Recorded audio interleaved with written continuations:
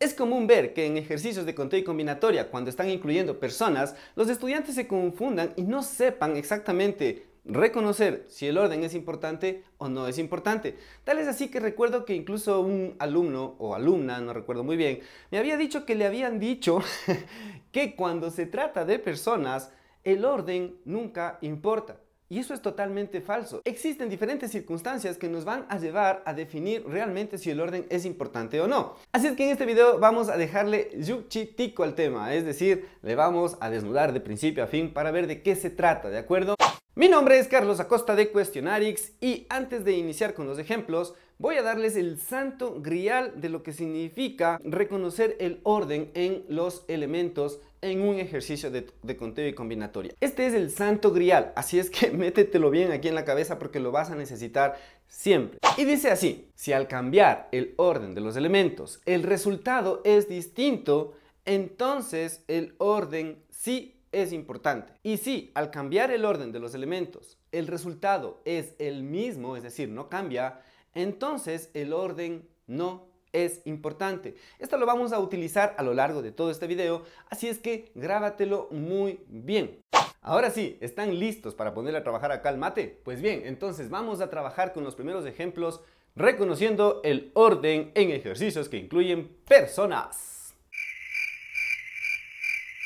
Y va el primer ejemplo que dice así, dentro de la sede de un partido político se va a escoger presidente, vicepresidente y secretario de entre las 15 personas más idóneas para ocupar cualquiera de los tres cargos. Al formar los distintos conjuntos, queremos saber si el orden de los posibles grupos elegidos es importante o no.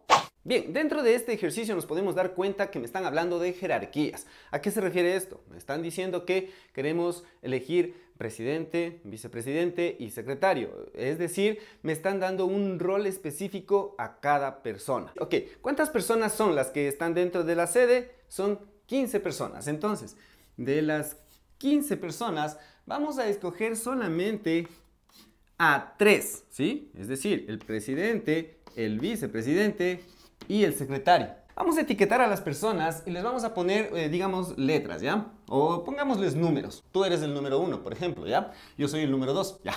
Entonces, la 1, la 2, la 3, la 4 y así hasta llegar a la persona 15.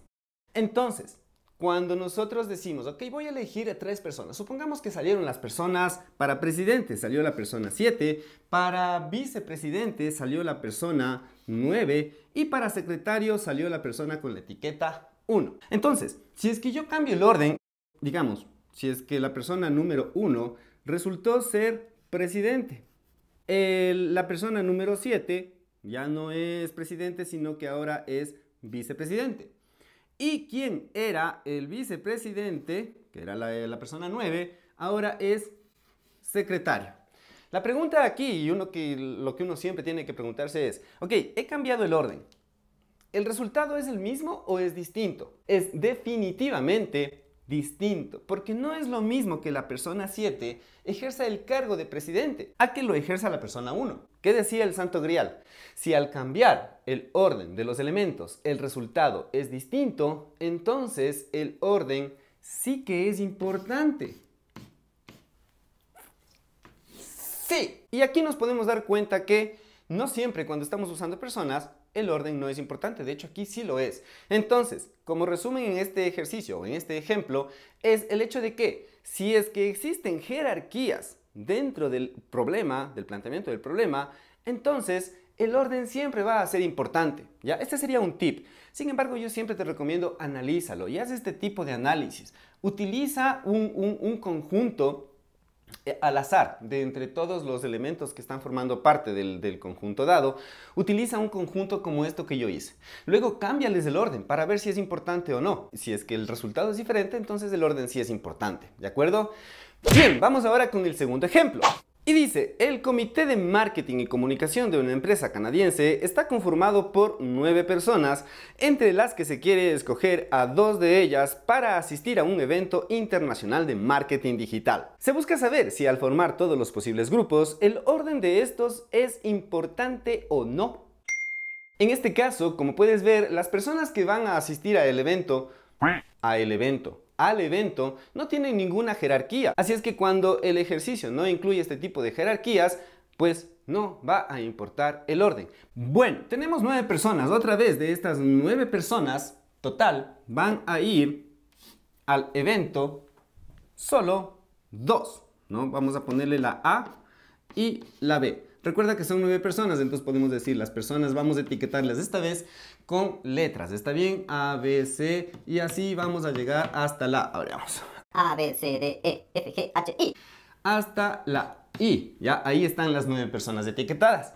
Supongamos que se van al evento A y B. Pero voy a cambiarles el orden para ver qué pasa. Entonces yo digo, ok, ¿y si se va B y A? Pues no pasa nada. Siguen siendo las mismas dos personas que se van. Entonces, aquí tú dices, ok, He cambiado el orden de los elementos y aquí viene otra vez el santo grial. Si al cambiar el orden de los elementos el resultado es el mismo, entonces el orden no importa. Y eso va para todo, o sea, independientemente de que estemos hablando de personas o no, eso funciona para todos los ejercicios de combinatoria cuando estés analizando el orden, ¿ya? Pero en el caso de personas, aquí podemos ver que de hecho no importa el orden. Entonces aquí no importa el orden.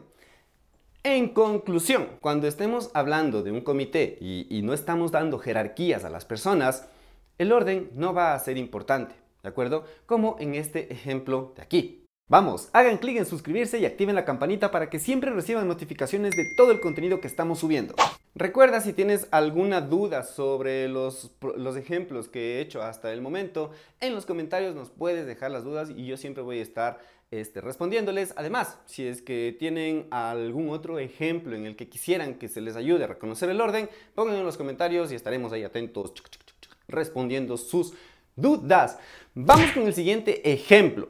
Supongamos que los futbolistas más destacados a nivel mundial son 35. ¿Ya? Si entre ellos se quiere premiar a los tres mejores jugadores del mundo, se busca saber si, al elegir a los jugadores, el orden de la triada es importante o no. Bien, si ya estás poniéndote pilas aquí al respecto, te puedes dar cuenta que este ejercicio incluye jerarquías. ¿Por qué? Porque estamos hablando de los tres mejores jugadores del mundo.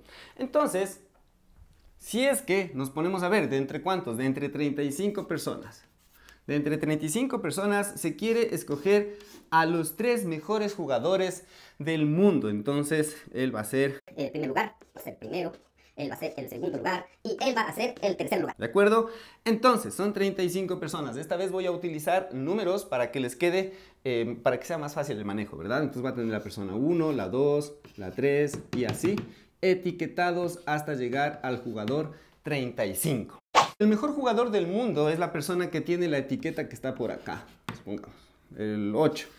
El jugador 3, el que está por aquí, es el segundo mejor del mundo.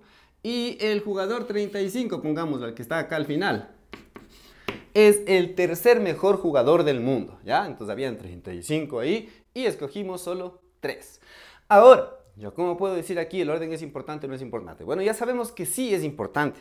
¿Pero por qué? Analicémoslo. ¿Cómo, ¿Cómo se lo hace?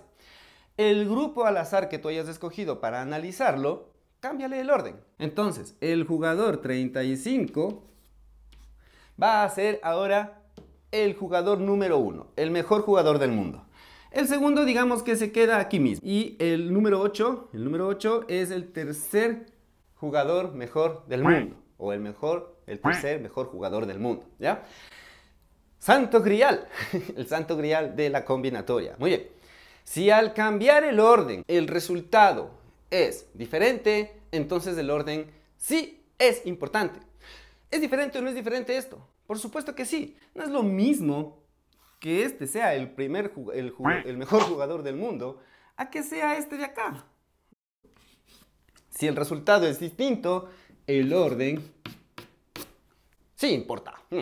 Así es que la mejor forma de saber si el orden importa o no en un grupo de personas es lo que hemos hecho en este, en este video. Es decir, tomar grupos, dependiendo de la cantidad que nos estén diciendo. Si nos están diciendo, se va a escoger a tres personas, entonces escogemos tres de todo el conjunto. Escogemos esas tres y les cambiamos el orden, ¿ya? Y vemos y analizamos con el santo grial. No olviden suscribirse y activar la campanita para que siempre estén al tanto de todos nuestros videos. Ahora estamos haciendo nuevos videos y con esto ustedes van a estar mejor preparados para el ser bachiller. ¡Activa la campanita!